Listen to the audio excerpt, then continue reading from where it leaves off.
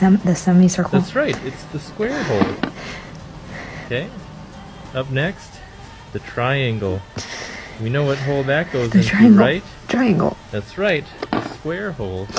And up up next, we have the arch. The arch. The arch. You guessed it. the arch. It goes in the square oh, hole. God.